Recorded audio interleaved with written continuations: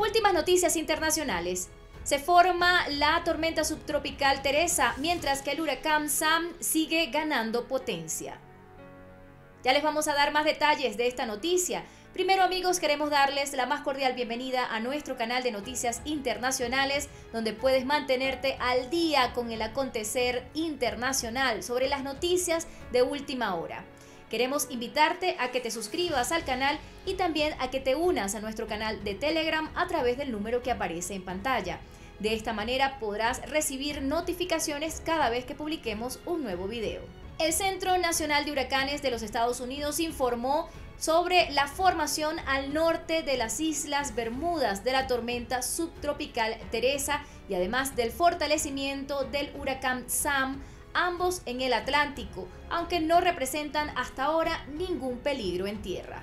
El Centro Nacional señaló que el centro de Teresa se encuentra a unos 245 kilómetros al norte de las Islas Bermudas y recientemente presentaba vientos máximos sostenidos cercanos a los 75 kilómetros por hora con algunas ráfagas más fuertes. Se prevé que la tormenta, que se mueve hacia el noroeste a cerca de 22 kilómetros por hora, desacelere su desplazamiento y gire hacia el norte. Este centro, que tiene sede en la ciudad de Miami, en el estado de la Florida, prevé pocos cambios en la fuerza del sistema durante las próximas horas y su disipación en aproximadamente unos dos días. Por su parte, el huracán Sam continúa aumentando su potencia mientras disminuye su velocidad de traslación sin presentar tampoco ningún peligro por ahora para tierra.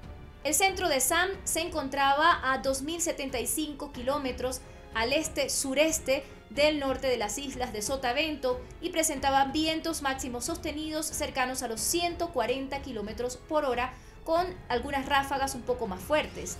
El Centro Nacional de Huracanes pronosticaba una intensificación rápida durante los próximos días y además eh, preveía que Sam pudiera convertirse en un huracán de categoría mayor, esto es cercano a la categoría 3 o más eh, de un total de 5 en la escala Saffir-Simpson. Cuando este centro dio esta información, Sam se movía hacia el oeste cerca de 19 kilómetros por hora y se esperaba que el desplazamiento continuara con una disminución en la velocidad de traslación y un movimiento hacia el oeste-noroeste durante todo el fin de semana.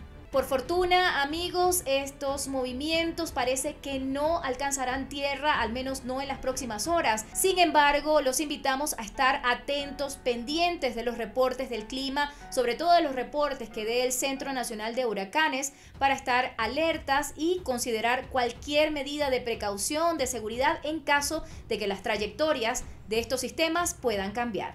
Bien amigos, hasta acá este reporte informativo. Les agradecemos muchísimo su sintonía. Hasta una próxima oportunidad.